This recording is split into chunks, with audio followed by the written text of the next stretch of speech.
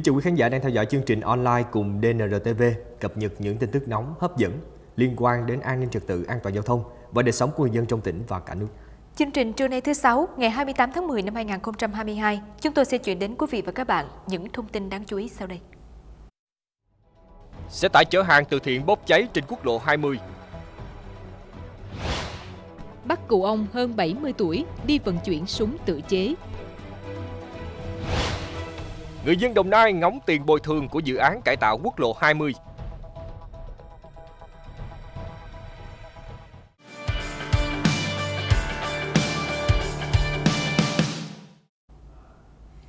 Mở đầu là tin tức an ninh trật tự.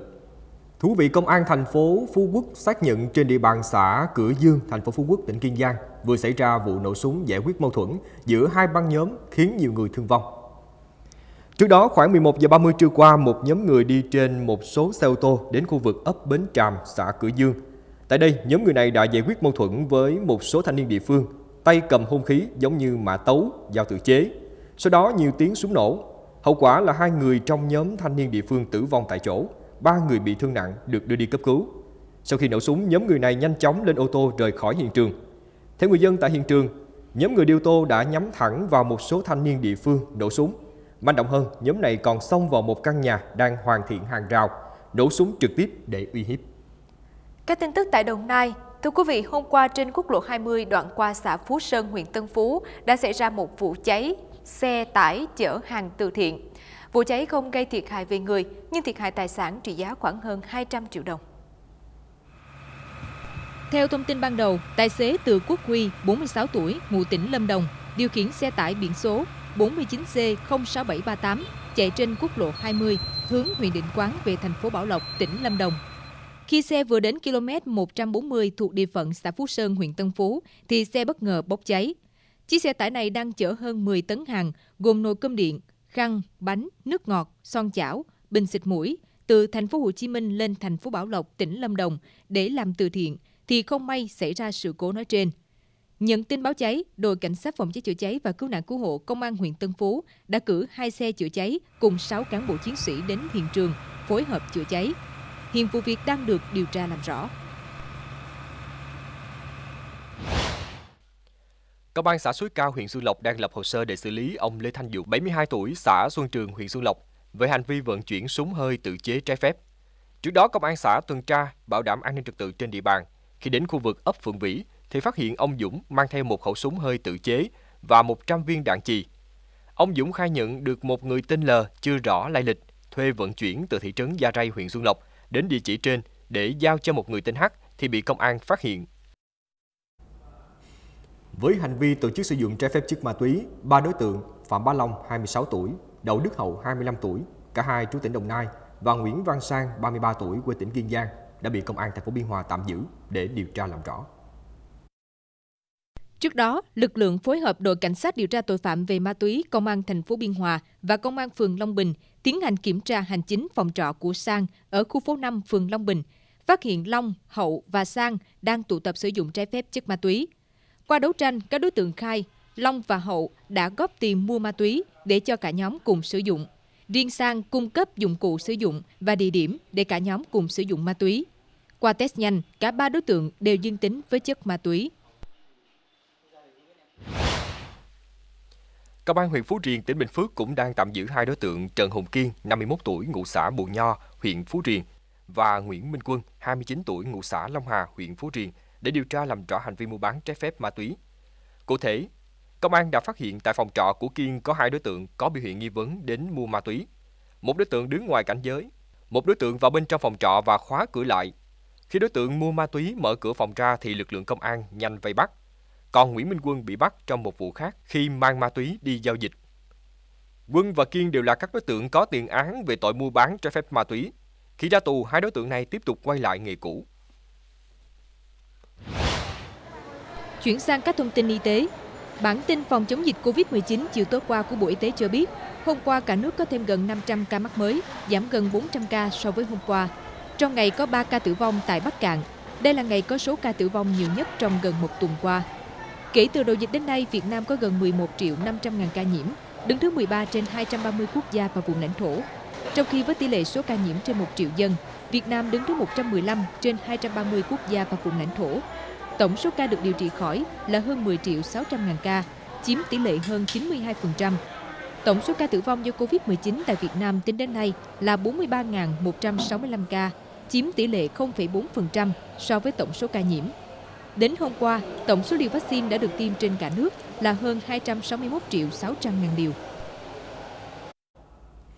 Vâng thưa quý vị, tại Đồng Nai, hai mặt bệnh truyền nhiễm nổi trội nhất thời điểm này vẫn là Covid-19 và sốt xuất huyết.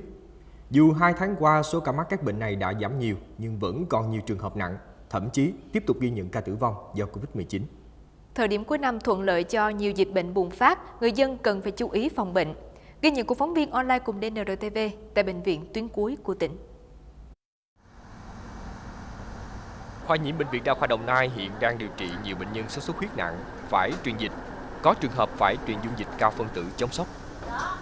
Chị Hoàng Thị Hà bị sốc sốt xuất huyết, được tuyến dưới chuyển lên cấp cứu và đã điều trị 4 ngày. Dù qua cơn sốc nhưng vẫn đang phải theo dõi tình trạng tràn dịch. Vô là em mê man hết rồi, xong em cũng chỉ biết mê mê là có đem máy lại đây siêu âm rồi hết luôn, rồi bác bác sĩ y tá rồi túc trực bữa đó là nước phi vậy luôn á. Cũng tại khoa nhiễm bệnh viện Đa khoa Đồng Nai hiện đang điều trị gần 20 trường hợp bệnh nhân Covid-19, chủ yếu là người già có các bệnh nền, như trường hợp phải thở máy, thở oxy. Đáng chú ý, mới đây tại bệnh viện tiếp tục ghi nhận ca tử vong do Covid-19. Hiện tại thì cái mặt bệnh về Covid mà phải nhập viện là đa phần là những cái ừ, Covid. Mà trên những bệnh nhân có bệnh nền, đặc biệt là những cái bệnh như là những bệnh nhân mà bệnh thận mạng phải chạy thận định kỳ, à, những bệnh nhân đái tháo đường hoặc là bệnh nhân có cái ừ, cái bệnh phổi tắc nghẽn mãn tính. Thì đa phần là những ca này thì nhập viện trong cái tình trạng là rất là nặng à, phải ờ, thở máy rồi tổn thương cũng đa phủ tạng hết. Thì ờ, những ca nặng thì trong những trường hợp những ca nặng vậy thì cái tỷ lệ tử vong cũng khá cũng vẫn còn rất là cao Theo Sở Y tế Đồng Nai, mỗi tuần toàn tỉnh ghi nhận khoảng 120 trường hợp nhiễm Covid-19 tại các địa phương và khoảng 400 đến 600 trường hợp sốt xuất huyết nhập viện. Thời tiết cuối năm là điều kiện thuận lợi có thể làm cho các dịch bệnh này bùng phát nếu không chủ động phòng ngừa. đặc điểm của năm nay là cái mùa mưa đến sớm và nó có thể kéo dài đến đến cuối năm luôn thì cái dịch bệnh sốt xuất huyết nó nó cũng sẽ diễn biến kéo dài và diễn biến phức tạp đến cuối năm. Phải tìm những cách để tiêu diệt mũi. Là không để những cái ờ, ao tù các cái cái, cái lưu vại để chứa nước. Rồi phải ngủ mùng. Hoặc là nếu như mà mình có đi đâu á, thì bây giờ người ta có những cái kem sức để chống mũi. Hiện tại thì dịch covid vẫn còn. Thì um, khuyến cáo đối phòng bệnh thì bây giờ là mình phải là đeo khẩu trang rửa tay thường xuyên và phải tuân thủ đi tìm ngừa vaccine Hiện Đồng Nai chưa ghi nhận ca nhiễm đậu mùa khỉ và cúm AH5 ở người. Tuy nhiên, không thể chủ quan với các dịch bệnh này vì đây là các bệnh dễ lây lan và bùng phát thành dịch. Người dân cần chủ động thực hiện các khuyến cáo phòng bệnh của ngành y tế.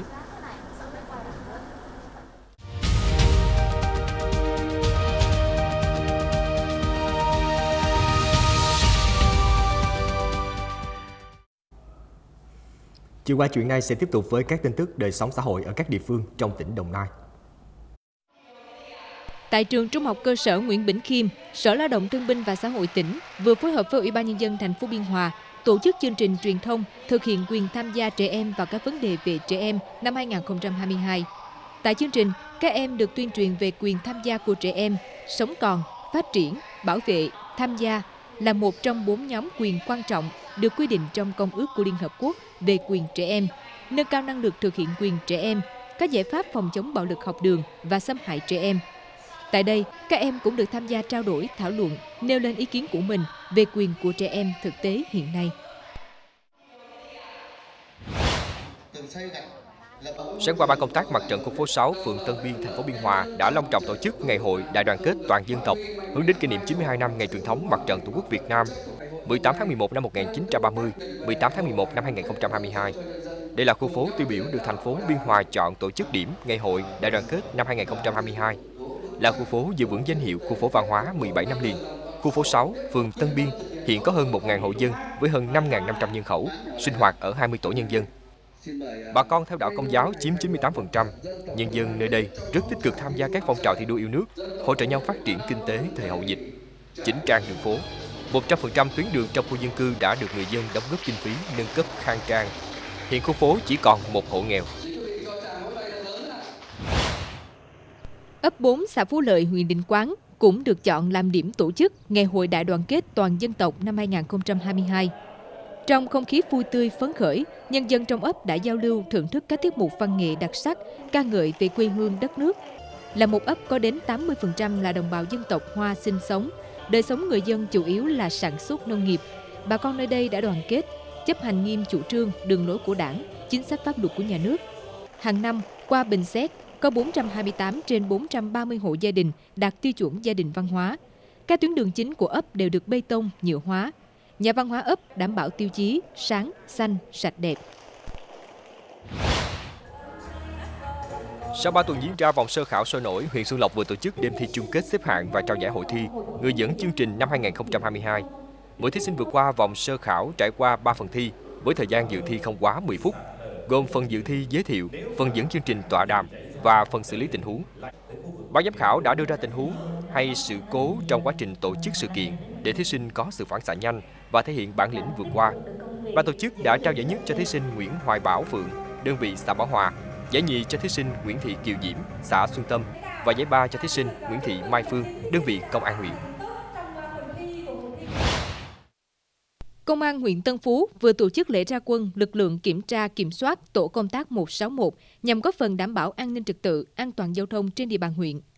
Trong thời gian gần đây, các nhóm thanh niên hư hỏng thường tụ tập đánh nhau, gây mất an ninh trật tự. Tội phạm mua bán, vận chuyển, tàn trữ, sử dụng trái phép chất ma túy có chiều hướng gia tăng. Vi phạm trật tự an toàn giao thông có biểu hiện tăng lên.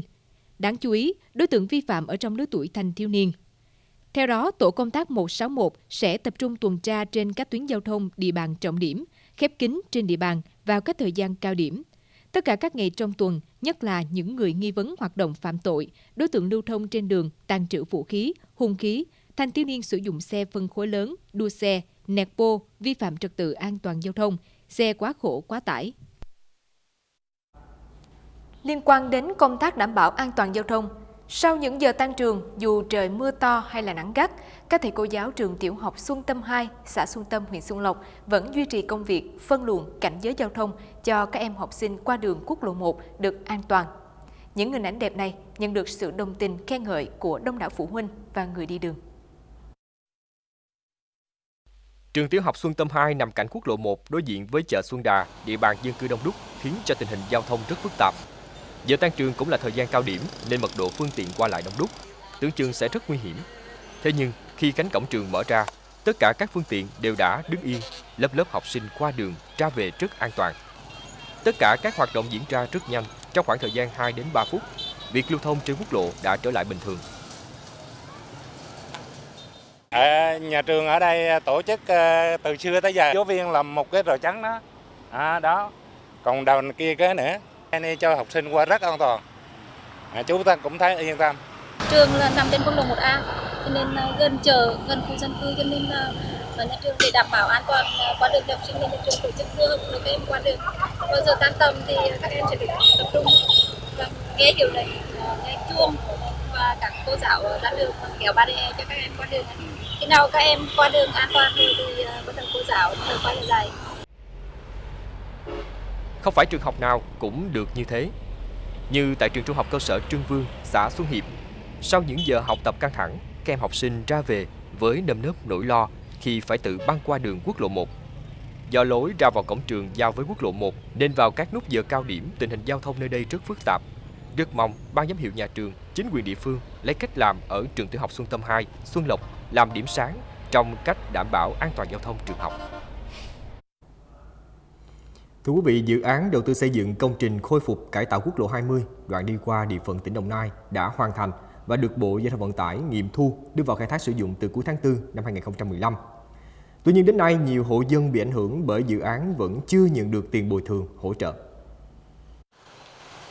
Khi thực hiện công trình khôi phục cải tạo quốc lộ 20, căn nhà của gia đình ông Nguyễn Thế Thành, xã Phú Lâm, huyện Tân Phú bị ảnh hưởng với chiều ngang 5,6 m và chiều sâu 9 m Hơn 7 năm qua, ông nhiều lần kiến nghị, nhưng đến nay vẫn chưa nhận được khoản tiền nào về bồi thường, hỗ trợ.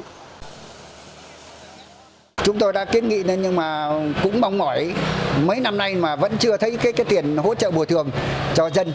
Sau khi à, cái Covid-19 thì gia đình à, nói chung là mọi người dân đều khó khăn. Thì chúng tôi cũng mong muốn là có cái tiền này là hỗ trợ cho bà con để xoay sở vì kinh tế bây giờ cũng eo hẹp. À, người dân thì hai hộ bên mặt đường quốc lộ 10 thì tầm khoảng trên 200 hộ. Thì đến thời điểm này thì người dân xã Phú Lâm chúng tôi thì cũng chưa được nhận cái tiền đền bù của, từ phía cơ quan nhà nước.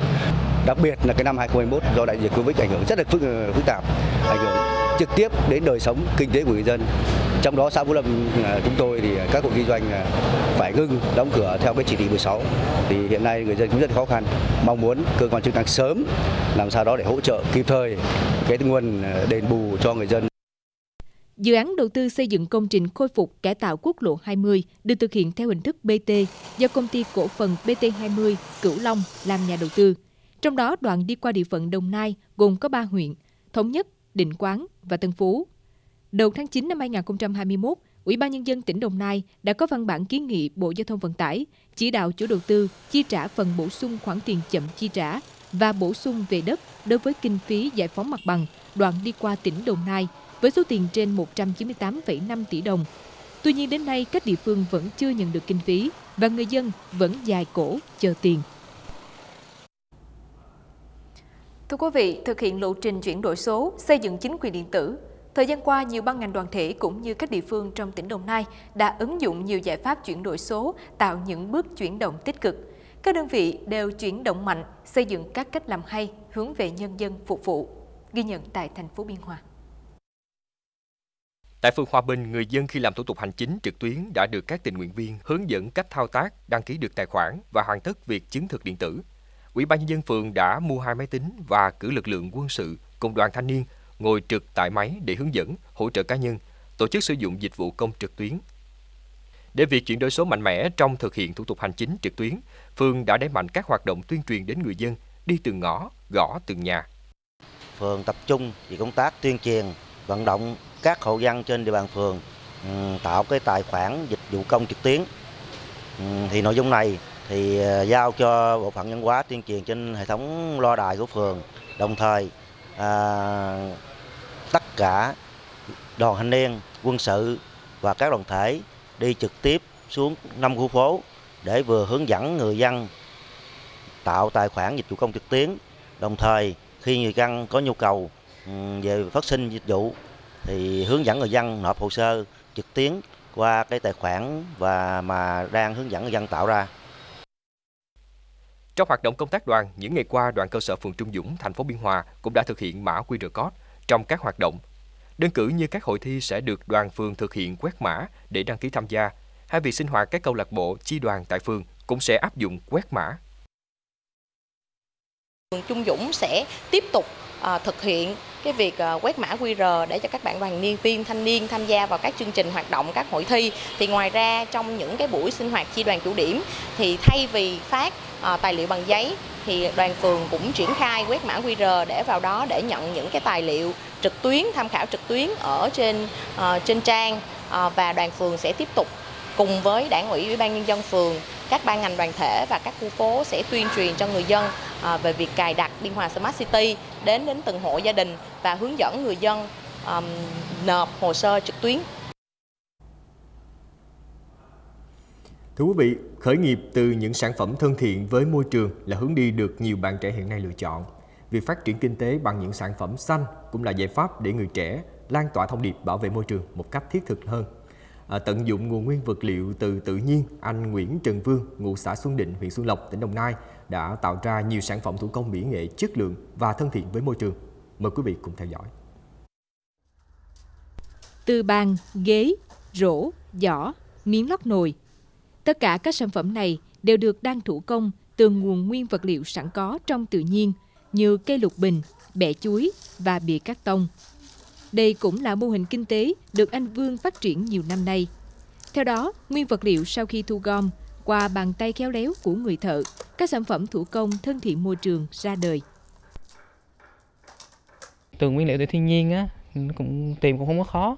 thì à, em sẽ có một à, bên thứ ba họ sẽ có một cái mẫu thì à, em sẽ nghiên cứu rồi sau đó sẽ đưa cái mẫu ra ngoài dân để cho họ mình sẽ Ờ, chỉ cho họ biết là nó làm bằng cái gì thì họ sẽ tự đi tìm những cái nguyên liệu đó, rồi họ xử lý nó, rồi họ đan thành phẩm, sau đó em sẽ thu lại cái thành phẩm đó. Trung bình cái lần lấy thì phải được ờ, trên một ngàn sản phẩm. Để sản phẩm có tuổi thọ cao, anh Vương cho biết phải phơi thật khô nguyên vật liệu, sau đó phủ keo để tránh mốc. Nếu xử lý kỹ, một sản phẩm có thể sử dụng được từ 3 đến 5 năm. Chính vì bền, đẹp mà các sản phẩm thủ công thân thiện với môi trường như thế này ngày càng nhận được sự quan tâm của người tiêu dùng trong và ngoài nước. Cái dự định sắp tới của bạn là bạn muốn tìm một cái à, trung tâm giới thiệu việc làm thì à, bản thân mình sẽ à, giới thiệu cho bạn, hướng dẫn cho bạn tìm một cái trung tâm việc làm đó để bạn truyền những cái kinh nghiệm, những cái cái kỹ thuật từ cái nghề của bạn đang làm cho một cái trung tâm đó để phát triển hơn để cho tạo việc làm những cái thanh niên ở tại địa phương ờ, cái nơi bạn để đang ở thì ờ, để cho thanh niên có việc làm hơn. Anh Vương cũng là một trong những thanh niên sản xuất kinh doanh giỏi trên địa bàn huyện Xuân Lộc. Với những định hướng mới, hy vọng mô hình phát triển kinh tế bằng những sản phẩm xanh của đoàn viên thanh niên sẽ tiếp tục tạo thêm việc làm cho người lao động và góp phần đặt nền móng cho một lối sống xanh hơn, bền vững hơn. Thông tin trên cũng đã khép lại chương trình online cùng DNRTV trưa nay. Nếu có bất kỳ thông tin và ảnh gì cần chia sẻ liên quan đến các lĩnh vực đời sống, an toàn giao thông, an ninh trật tự, quý vị và các bạn có thể gửi mail về cho chương trình theo địa chỉ tin nóng đồng nai gmail.com. Cảm ơn quý vị và các bạn đã quan tâm theo dõi chương trình trưa nay. Thân ái chào tạm biệt và hẹn gặp lại.